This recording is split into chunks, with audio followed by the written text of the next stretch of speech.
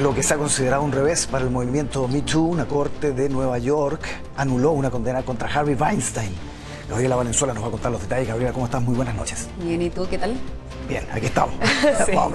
Eh, bueno, tal como decía, sí, es un tremendo revés para el movimiento Me Too, que si te acuerdas comenzó eh, hace varios años este movimiento de empoderamiento femenino para denunciar los acosos sexuales y abusos sexuales en el mundo de Hollywood, ¿no? Dentro de esos acusados, el principal era Harvey Weinstein, quien era este productor famosísimo de los más exitosos de Hollywood.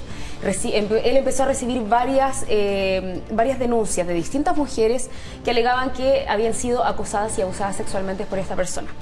Bueno, ¿qué pasó? Que él eh, tuvo juicio en 2020 donde fue condenado por, eh, por violación. Y ahora un tribunal, el Tribunal de Apelaciones de Nueva York, anuló esa condena. Eh, fue precisamente porque se supone que durante ese juicio el juez mostró prejuicios al permitir que testificaran mujeres sobre acusaciones que no formaban parte de ese caso en particular. Entonces, ¿qué pasó? La defensa alegó eh, que esto había ocurrido durante ese juicio y ganaron. Entonces se tuvo que anular eh, la condena y todo lo que habían hecho durante ese juicio quedó todo suspendido y entonces van a tener que, ordenaron ya que se realice un nuevo juicio.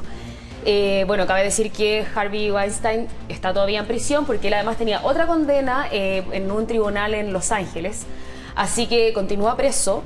Pero eh, la defensa de Harvey Weinstein dijo que también va a apelar a esa condena. Así que vamos a ver ahí qué ocurre. Y ahí es donde analistas dicen que podría bajar sustancialmente el tiempo de condena, ¿no?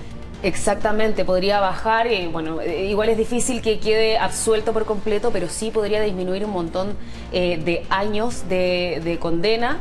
Él ahora el- por la condena de Nueva York eran como 30 años, un poco más, y por la de Los Ángeles eran 16.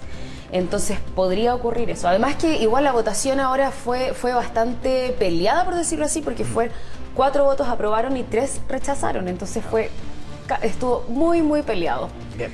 Vamos a quedar muy atentos a este caso que generó tanto revuelo y que inició, de hecho, fue uno de los que inició el movimiento Me Too a nivel global. Gabriela, muchísimas gracias. Gracias a ti. Buenas noches. Hacemos una pausa y más Tele 13 Noche al regreso. No se vayan.